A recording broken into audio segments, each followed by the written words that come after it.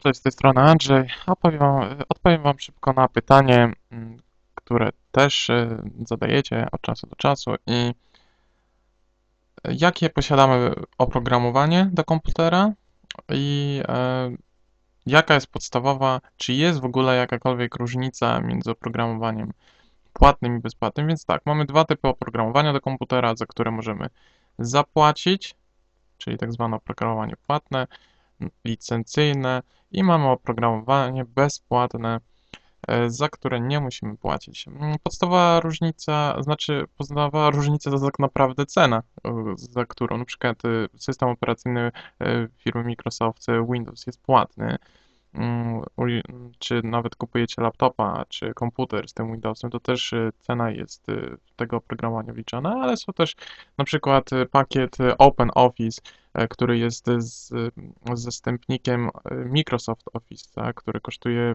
bodajże na Polskę 2000 zł, czy ponad 1000 grubo, podstawowa jakaś wersja, jest, e, jest bezpłatny w porównaniu i tak samo posiada jakieś użyteczne informacje.